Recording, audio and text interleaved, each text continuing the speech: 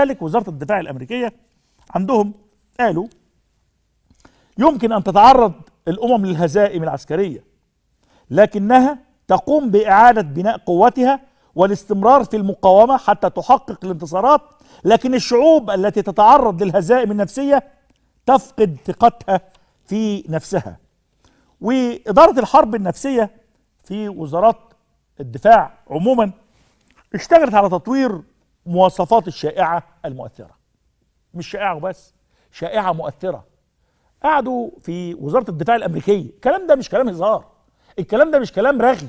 الكلام ده مش كلام بنملى هوا بيه. القصة إنه عايزين في وزارة الدفاع الأمريكية وكل وزارات الدفاع عندهم إدارة الحرب النفسية بيحطوا مواصفة للشائعة لكي تكون مؤثرة. أنا بضرب شائعة عشان أعمل إيه؟ عشان أستهدف جهة أستهدف حشد من الناس. في جمهور مستهدف هدفي إن أنا أرفع معنوياته أو أقلل معنوياته أو أسم بدنه أو أخليه مزاجه متعكر. أنا هدفي إيه؟ فبيقولوا هناك مواصفات للشائعة لكي تكون مؤثرة. حطوا حزمة من مواصفات الشائعة الناجحة والحقيقة مذكرة قدمتها إدارة الحرب النفسية في وزارة الدفاع الأمريكية سنة 1990 سنة 1990 حددت هذه الإدارة مواصفات الشائعة الناجحة فيما يلي. ثمان مواصفات للشائعة الناجحة. الكلام ده يا جماعة مش كلام مش كلام رغي بيتقال والله. 1990 إدارة الحرب النفسية في وزارة الدفاع الأمريكية وضعت حزمة من الشروط والمواصفات حتى تكون الشائعة مؤثرة. إيه هي بقى؟ واحد أن تكون الشائعة سهلة. سهله أن يتذكرها الجمهور. حاجة سهلة عشان إيه؟ لما أنا أسمع شائعة سهلة يعني حكاية بسيطة جدا أقدر أنقلها للآخرين. فبيقول لك أول حاجة أن يكون من السهل أن يتذكرها الجمهور المستهدف لأن هذا الجمهور يمكن أن يقوم بترويجها عن طريق الاتصال الشخصي. أسمع الشائعة من هنا؟ سهلة بقى مش معقدة يعني مش مكلكعة. أروح متصل بالتليفون سمعت كذا؟ شفت كذا؟ أروح اقعد مع الناس زمايلي أقول لهم شفتوا يا جماعة كذا؟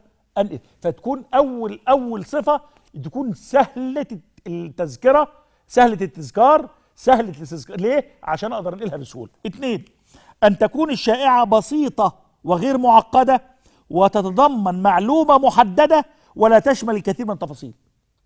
ما انت بتقول شائعة انت عايز الراجل بس حاجة كده سريعة يتذكرها يكون فيها معلومة محددة رقم معين. يقول لك ده في كم واحد مات؟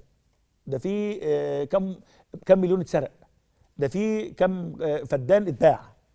لازم يحط لك رقم أو معلومة محددة عشان لما تيجي تنقل تفتكرها كويس وتبقى شكلها دقيقة. يقول لك 19 واحد مش 20 خد بالك. ده رقم. رقم ثلاثة أن تتوافق الشائعة مع مصالح الجمهور وتشبع احتياجاته وتتم فيها مراعاة الظروف التي يمر بها الجمهور.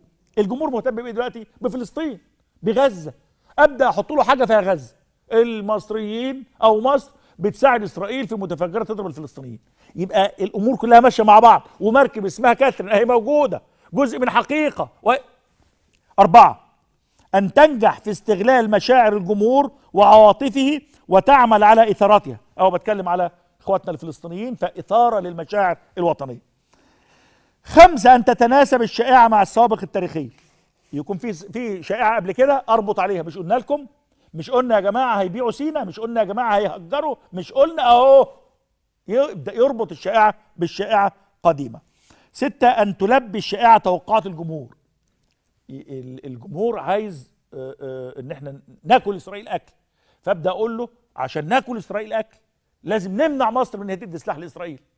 يبقى يركب الكذبة على الكذبة عشان تبقى شكلها متساوي. من الأفضل أن تتم نسبة الشائعات في إلى مصدر من الأفضل أن تتم نسبة الشائعات إلى مصدر موثوق به. يقول ده محطة كذا العالمية صحيفة كذا البريطانية الأمريكية. فلان الفلاني الباحث في معهد مش عارف إيه الدولي الأمريكي البريطاني. يبقى أنسب الشائعة لمنظمة دولية. أنسب الشائعة لموقع معين. ما تقولش كده في الهوا. أن يتم تجنب المبالغة في صياغة الشائعه ما تبالغش قوي. خليها محدودة كده عشان الناس تصدقها. ده آآ آآ آآ وزارة الدفاع الأمريكية وقالت كمان إنه ابدأ اشتغل على جزء من الحقيقة. طبعا آه، استخدمت العقول اللي بتخطط للحرب النفسية الخبرات المتركبة من الحرب العالمية الثانية في صنع الشائعات ونشرها داخل طوفان من المعلومات التي تفشل أجهزة الدول المعادية في تحليلها وتقييمها والتمييز بين المعلومات الصحيحة والزائفة وهذا يؤدي إلى الارتباك والتوتر في صفوف الجيوش والشعوب وزيادة شعورها بالعجز وانهيار خططها. الإنترنت طبعا هو السبب لأن في ناس بتستخدمه صح وناس بتستخدمه غلط لكنه لا يمكن أن أقفل منافذ الإنترنت ولا السوشيال ميديا خلاص أنا لازم أدخل المعركة وأنا عارف إن دول مش هقدر أقفلهم لازم ادخل المعركة وده موضوع كبير جدا ويستحق منا إن إحنا نتكلم فيه في حلقات وحلقات وحلقات لأنه ربما بننفق مليارات عشان نسلح جيشنا ونحافظ على حدودنا لكن هناك استباحة للعقل الجمعي المصري رأيناه وتبعناه ولن نخجل من قول الحقيقة أن هناك استباحة حقيقية وقدرة على احتلال جزء من العقل الجمعي المصري عن طريق الشائعات. طيب اليونسكو. منظمة اليونسكو عرفت الخبر الزائف. قالت إيه؟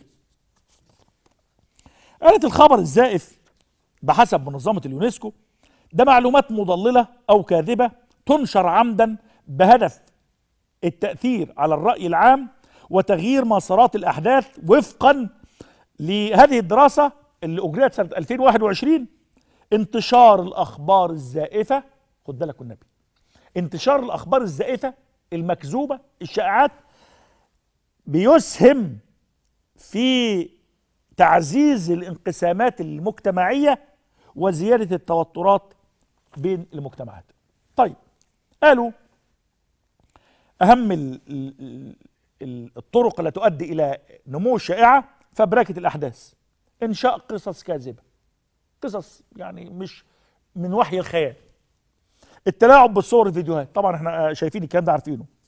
نشر الشائعات والمعلومات غير المؤكدة.